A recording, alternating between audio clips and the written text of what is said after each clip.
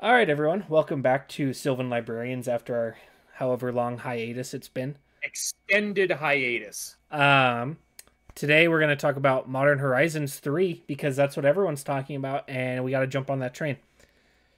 But it's also a really good set, just like to be clear. We could have talked about Thunder Junction or uh, Karlov Manor, but th- this one I'm actually genuinely a little bit excited about. Um, whereas the other two, not not so much. So, no, I feel yeah.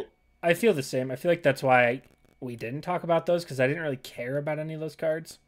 Like Thunder Junction was okay. Karlov Manor was kind of butt actually. yeah, I wasn't the biggest fan, but Modern Horizons yeah. three has has bangers. Yeah, um, this is a this is a very good set.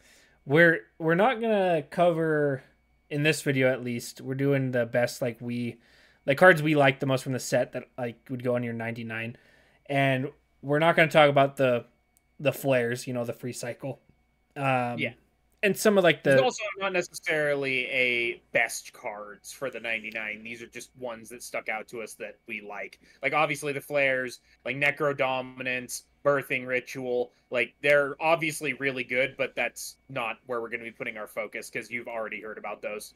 Yeah and to start that i'm going to prove it here with an uncommon from the set.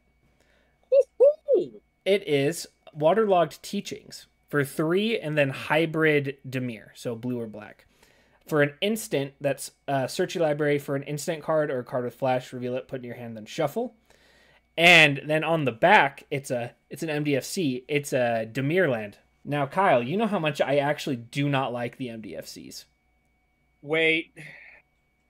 Y- yes, I understand how much you don't like the MDFCs. Does does Thoracle have flash? Uh, no.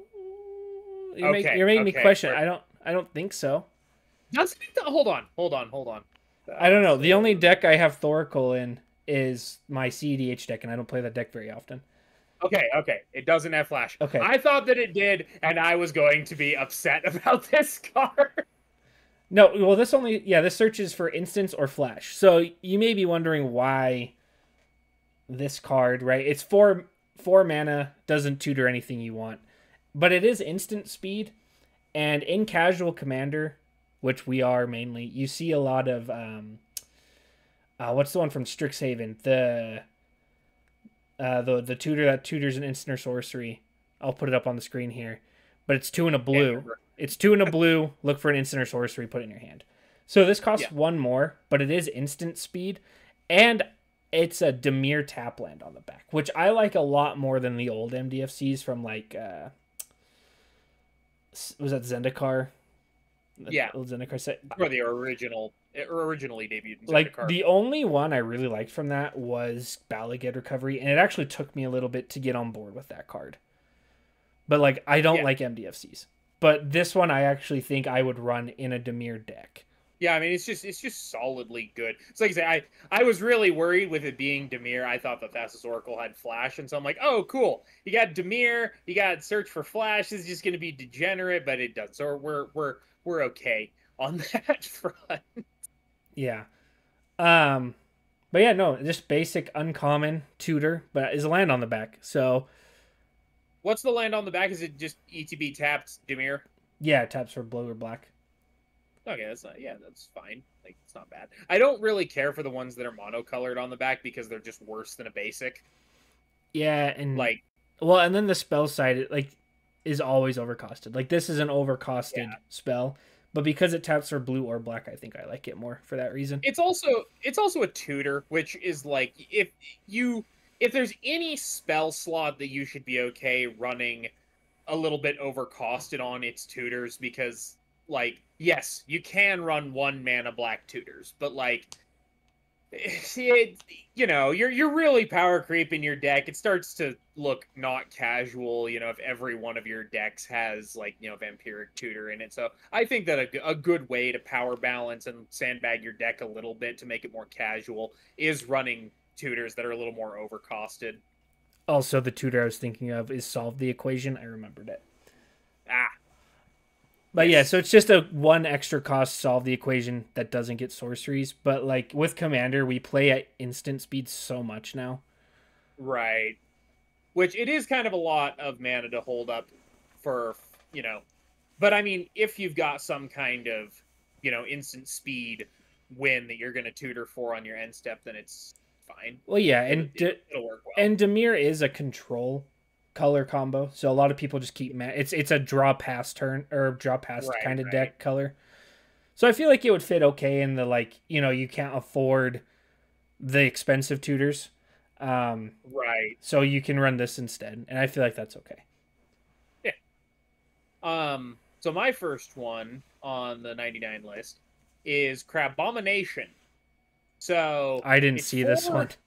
this this one I I like this one. Um, it kind of reminds me of uh, oh, what is it called? Uh, Combustible Gearhulk. Um, Okay, which I think I think you'll see why here. I. I know combustible um, gear Hulk. So it's four black black for a five five crab demon, and it has emerged from artifact for five black black. Um, so you can reduce its cost by sacrificing an artifact, or you can just pay four black black. And it has when it enters the battlefield, target opponent exiles the top card of their library, a card at random from their graveyard, and a card at random from their hand. You may cast a spell from among the cards exiled this way without paying its mana cost. Um, Hold on, you're exiling Hey. from anyone's hand or, or anyone's stuff or just your Any- stuff? any opponents. Any Yeah, you have to stuff. choose, okay. choose an opponent. They exile the top card of their library, a random card from their graveyard, and a random card from their hand. Interesting. And you can cast one of the spells uh, exiled this way without paying its mana cost. Okay. Um, so the reason that I like and the reason it kind of reminds me of uh, um, of combustible gearhulk is because this seems like something you would do over and over. Like this seems like a good include in like a graveyard deck. Um, if you're only going to get it once, then it's not so good. You know, for for black black for a five five that doesn't do anything after the first time it comes down is just eh. It's, it, it's a body, I guess. Um, but since it's mono black, like you could easily run this in a graveyard deck. You put this in like a Chainer Dementia Master deck. Um, that's that actually be amazing you know, if you can be casting this for you know three black pips every turn. Um, you're just gonna be generating an insane amount of value because you, know, you could potentially you know be hitting a six or a seven drop out of somebody's hand or off the top of their library or what have you. And I, I just think it's really solid. Also, it's a giant crab demon. I think this is the first crab demon in Magic, and I'm a, I'm a, I'm a pretty big fan. It uh it reminds me of I don't, you haven't played another Crab's Treasure, but the Crab Souls game. Uh huh. There's a place that you go in like between cities and like the lands and whatnot. And if you walk off the path, this giant crab boss comes out of nowhere, out of the sand, and chases you around. That's what this is reminding me of.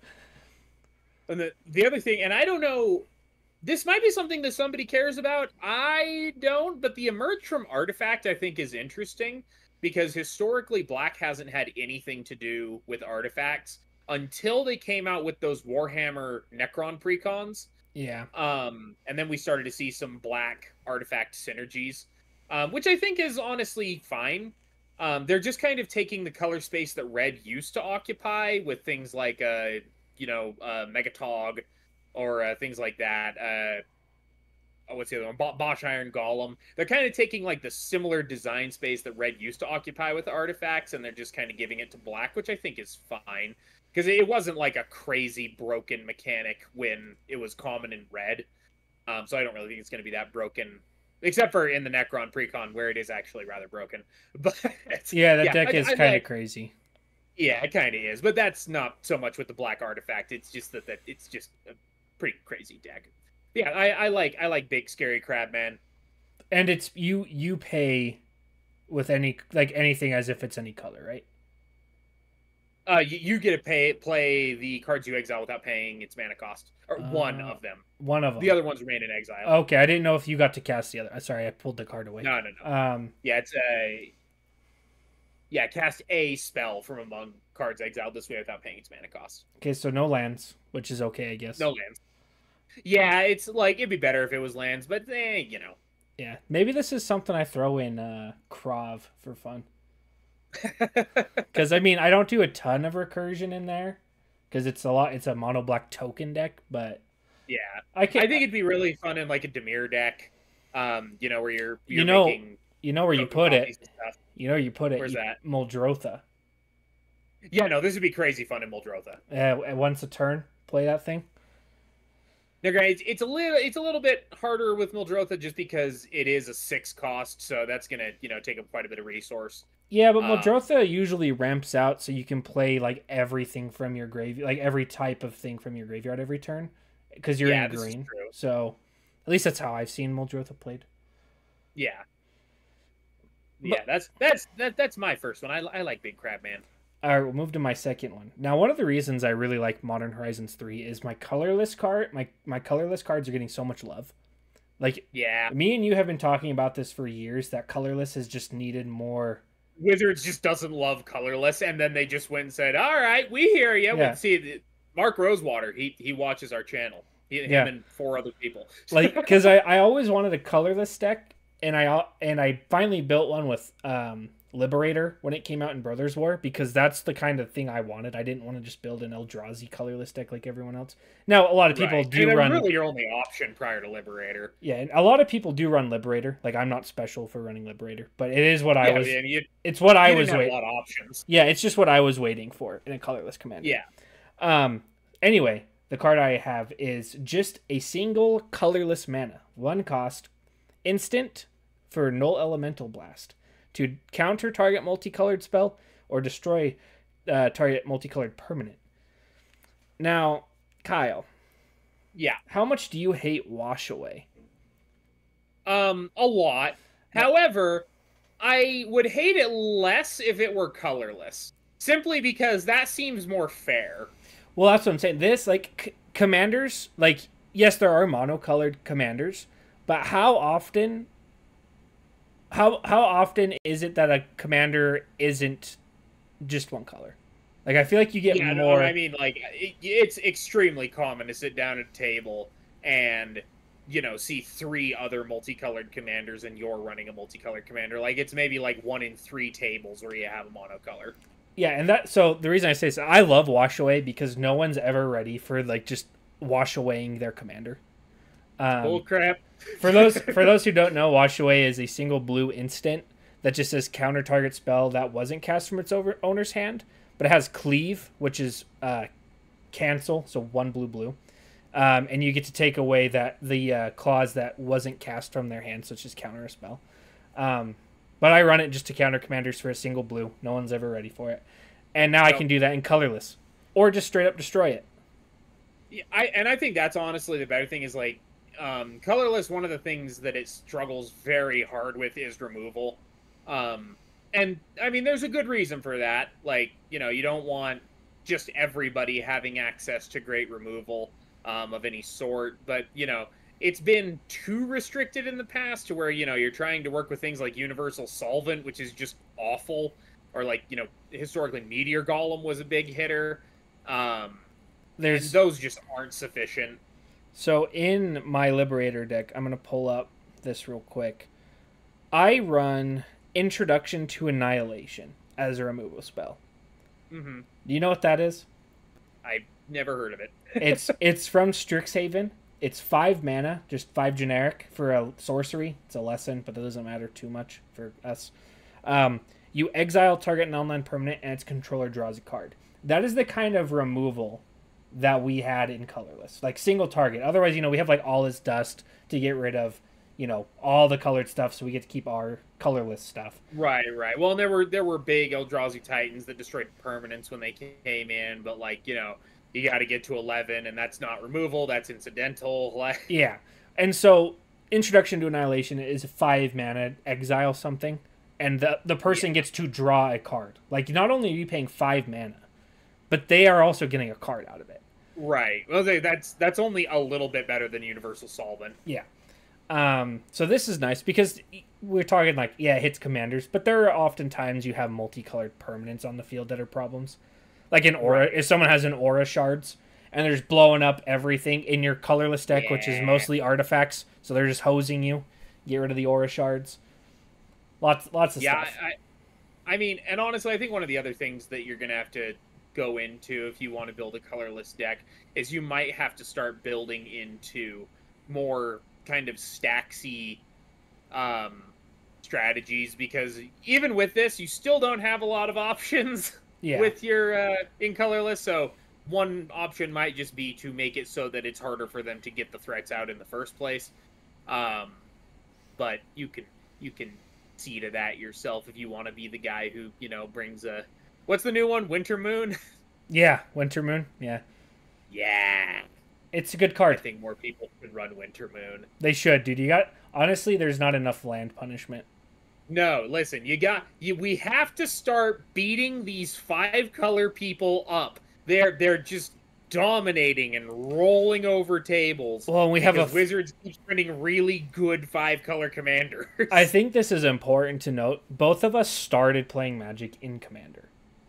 Yeah. Where land destruction, touching lands is big no no. Where in other formats, it's like they don't really care. Like you do it, whatever. Right. But like as we've been playing, we've both just been like, you gotta hose some of these people. Yeah. Well, here's the thing. I think Armageddon too much because it also blows up your lands, and that's no good. Um, but you know, like Winter Moon or, or Blood Moon, or hey, let me move on to my second one, Harbinger of the Seas. You wow, did you, like- did you like- see that segue? Did you see that segue I just rolled in on? Because Harbinger of the Seas is a merfolk wizard for one blue blue that just has the static effect of non basic lands are islands. So, Blood Moon, but blue, which big fan, gotta say. We don't we don't see enough Blood Moon anymore. People used to run it more. You don't see any Blood Moon. You don't see any Magus of the Moon. Bring them back. Bring them back and bring bring in Harbinger of the Seas. We gotta punish these people for running these ridiculous no basics land bases. Well, and like I won't name names, but I listen to lots of Magic podcasts, and there are some specific ones where they're talking in a monocolored deck. They're running like six basic lands, and I'm like, okay, Oh okay. yeah. In a five color deck, I understand running six basics, five basics, whatever, because you kind of have Yeah. to. But in a monocolored deck, you're running six basics and then running a bunch of like colorless um, uh, utility lands, or you're running a lot of like enters tapped blue lands, or like just some other non-basic bl- blue Right. sources. And so people who play that way are going to get absolutely hosed by the Wintermoon, like we were talking. Or if you have um, your second card here, just it is non-basic, right? Non-basic lands or islands. Yeah, non basic Okay. lands or islands. Um, could you imagine just tur turning off someone's Urborg Cabal Coffers combo? yeah. just it- yeah. Done. Well, also, here's the thing too. Let's say that you put this in a mono blue deck. Say, uh, I don't know, Jin-Gitaxias deck or something. Your Urza. islands still work for counter spells. So, like, most of their, or like, you know, for these five color bases, a lot of their lands don't work anyway. But then your lands still produce blue mana, which can be used to cast counter spells. So if you want to be that guy and just Yeah. absolutely dominate the table, like it, it's it's way it's significantly better than Blood Moon, simply because blue is so much more interactive than red is. Yeah, it's. Um, I I think Yeah. we won't see it very much. I don't think we will either because people are afraid of stacks and they shouldn't be. Uh, Unless- you, want to you want to win games, run stacks pieces. Unless you're playing against a stack deck, because stack decks do tend to have blue. Yeah. Um, I think that's the only place we'll see it. Yeah, like uh, I mean, like in a stack deck, it's just bananas. Like say you play in Urza Stacks or uh, Grand Arbiter, yeah, Jin-Gitaxias. Like you, you, it just goes bananas in stacks. Yeah, it. Like, don't fear running the stacks pieces just because you're not running a stacks deck. Like it's it's okay. It's it's okay to make it harder for other people to play the game. It is not cool to make it impossible for them to play the game. But like, I mean, part of that is you know don't run so many non basics. Forehead. Uh, Yeah. There's a mosquito. there's a Skeeter. Got it. I looked around like I was gonna see it here. It's gone. Okay. Anyway, now I'm gonna segue real bad into my third card. listen, you're not gonna beat mine, so like you may as well just not, you know, not even try. But my third card is also a colorless card. If you can't tell, I'm excited about the colorless. Also, I need to give a quick shout out to Snow Covered Wastes in this set, which I may be purchasing. Uh, I didn't think we'd ever see a waste reprint. I genuinely thought Wizards would never do it. but we got Snow Covered Wastes now, so I'll take it. Uh, mostly because I think snow is. I don't know if it's how popular it is in modern, but I feel like every modern Horizon set or something has had snow. It's it's got more of a thing in modern than it does in other in other places for sure. But anyway, my third card is Glaring Fleshraker for two and a colorless. It is a creature, Eldrazi drone, um, 2 2. Whenever you cast a colorless spell, you create a 0 1 colorless Eldrazi spawn creature token with sack this creature, add colorless. And then whenever another colorless creature ETBs under your control, Gla- Glaring Fleshraker deals one damage to each opponent. So Not in bad. in my colorless deck, every card I play, besides my lands, nets me essentially a treasure token. Oh. And not yeah. not only that, every time I create one, I'm pinging each opponent for one. Yeah, I could see how that could get relatively out. Like, it's not gonna. I don't feel like it's gonna dominate the board, but I feel like it's something you can put out there that people aren't going to realize how good it is until it's too late. No, it's going to generate some good value. That's what I'm looking at. Is in my Liberator deck, throwing it in there, generating Eldrazi spawns, which I can use as bodies, which Yeah. which is still nice because the deck is Liberator gives at your entire deck flash speed, so you can block, sack them before damage, and then just cast something if you want. Are they spawns or scions? Uh, spawn. Sorry, I put my phone away. Um, I believe it's spawn. And that's all. Yeah, one that Eldra- produces colored mana. Eldrazi spawn, sack, create a colorless. Your colors, yeah. yeah. Mhm. Scion is the one that creates a colored mana. You don't hardly see any of those though. I don't. I don't know. It's essentially treasure tokens from colorless decks because you don't right, really need, the, colorless. Yeah, the colors. Uh, yeah. and Unless you're unless you're running like the uh, you know like the old Eldrazi's that had colored pips but were like still devoid. Well, that's what the precon is. Right. That yeah. That's what the So- Ula Ulala Lek or whatever. I don't have it pulled up. Yeah, a five color deck that doesn't cost five colors and its mana cost. That they said they'd stop doing. By the Yeah, they way, said they weren't gonna do this anymore. Wizards. Yes. They Why- lied. they Give us. Golos back. You, you had no reason to ban him if you're just gonna print new Golos. Well, Golos was banned because he paid for his commander tax type deal, I think. Even though, yeah, like, that's. There, there's another one. They actually hold on, hold on. I saw one that pays for its commander tax. I think it's in one of the pre-cons. Um.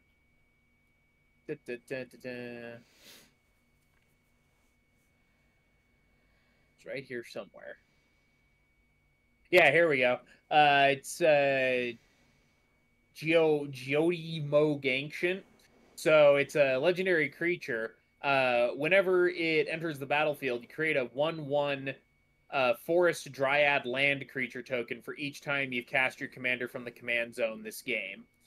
Um, and then at the beginning of combat, creatures you control get plus plus X, where X is your commander's power. So, like you know, that's let's not pretend like we don't have things that also pay for their commander tax. This one, every time you cast it from the command zone, you get to make a dryad that counts as a land. well, um, not only that, I think it's called. um Is it a triangular equation where like it goes from you get one on your first cast, then two, and then three, and then you get four. So it like increases by Yeah. one each time. Um, Yeah, so it, yeah, depending on how many times you've cast it. So like, like you still aren't gonna, you still aren't gonna like completely pay for your commander tax, but like it's a Simic commander. no, you're you're paying half your tax, which is what Golos Yeah, also exactly. did. Golos got you a land every time. So yeah, let's not let's not pretend like Wizards has learned from their design mistakes. They in Well, actually- have not. Actually, no, because the first time you cast it, you get a land dryad without the commander tax, right? So it pays for half on your neck. Because then Yeah. the next time you cast it, it would cost two, so it does pay for that half. But then you end up with three after you oh cast right, that you're one. actually ahead by one. Yeah. so you, Fair. yeah, Simic fair needed it. valid. Yeah, Simic needed it. It was yeah, it was yeah. Poor Simic. This is coming from someone who's pretty much. I, I I feel like I've evolved from an Izzet player to more of a Simic player. You're you're something. How's that? Yeah, I don't know. like I started as an Izzet spell slinger, but now it's turned into just rampant card draw in every Yeah. color. In every color, not just Simic, but Yeah, you manage to card draw like you're in blue, regardless of which color you're building into. it's my favorite thing in the game, baby. It seems to be. So my last pick is abtrusive or ab abtruse abstru. I That's not a word. I believe there's lots of things in Magic that are made up words. yeah, but that is like an adjective. It's a it's abstruse appropriation. Hold on. don't yeah, I was gonna say. I was gonna say. Let's find out if this is a real world. This is our English lesson for the day. Difficult to penetrate, incomprehensible to one of the ordinary understanding or knowledge. I'm also difficult to penetrate. I'm sorry, children. sorry, mom. I know you don't listen to this, but sorry. sorry, but yeah, no, I don't think if she did, I don't think she'd make it this far into the episode. Uh, What is what is So- this magic you guys are talking about? Now, now that we've gotten through the name, abstruse appropriation is an instant for two white black. It has devoid, and it has exile target non-land permanent. You may cast that card for as long as it remains exiled, and you may spend colorless mana as though it were mana of any color to cast that spell. So, in this day and age, four mana for a uh, single point removal, even if it's an on land permanent spell, is a little steep. This is basically a vindicate, I think. Vindicate is one Vindic- one white black. yeah, yeah. So permanent. it's it's a, it's an overcasted vindicate, um, but it is exile, and you do get access to that spell later on. So like you know, this is something that you would just use on real big beaters. Um, yeah. Your your just clo- uh, your closer comparison would be anguished unmaking.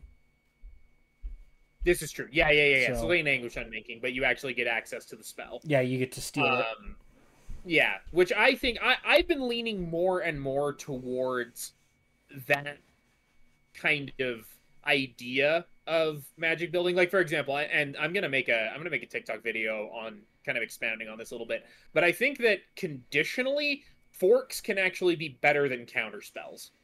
Um, because like you can actually steal a win out from somebody's nose. Like let's say with uh, Torment of Hailfire, you can steal a win out from somebody's no- nose with a fork because yours will resolve first. Whereas a counter spell, it just goes to the graveyard. Um, so like yeah, I I, I am really starting to kind of lean into this idea of like taking someone's spell is better than just getting rid of said spell. Um, even if it costs you a little bit more mana, like I say, two white black, that is that is a little bit steep for removal in this day and age, but I think it might I think it might be worth it. I would I would give it a consideration. Yeah, I I feel like the one cost extra isn't actually that bad of a cost to just play it later. Right. Well, and it does give you access to mana of any color if it's from a colorless source. So like obviously this is intended to be run in a colorless um or at least a it would be a devoid deck. heavy deck. Yeah. Yeah, it'd be a devoid deck. Um which does that change color ident does devoid change color identity or does it just change color? No, so dev- so you can't run something with devoid in a colorless deck because the Oh, okay. color identity still has the pip in it. Gotcha, gotcha. Yeah, so I, I would I would still give it a give it a look. Because like I mean you've got sol rings right? You've got thought vessels. Like there are things in your deck that are producing colorless mana, um, probably if that's something that you really need. But also like you know it's just not that bad for exile target online permanent. If if if that's the lowest that it goes for four it's not bad. It's not the best but it's not bad. Yeah. yeah. Uh did we we we did your third didn't we Yeah, that's that's the thing. Your camera froze like halfway through that, by the way. oh wonderful okay I don't know if you can see uh, it, but Yeah, I can see it jittering. I don't know why it's doing that. On, I can-? I don't know. But I can I can get some goofy things on your camera then or something. There we go. Yeah. that's it. That's all. We're a bit rusty. Oh, sorry. Were you ending it? I guess. Oh. Like, do you have I don't got. do you have any follow up? Like, I, I got nothing. I got nothing else. I got nothing else. Thank you everybody for tuning in to Sylvan Librarians. We're a little rusty at the intro outro thing. We kind of lost our rhythm. That's what happens when you take like a six seven month hiatus. But uh, But we'll be back. We're working on it. we appreciate you for uh, for tuning in, and uh, we will catch you on the next one.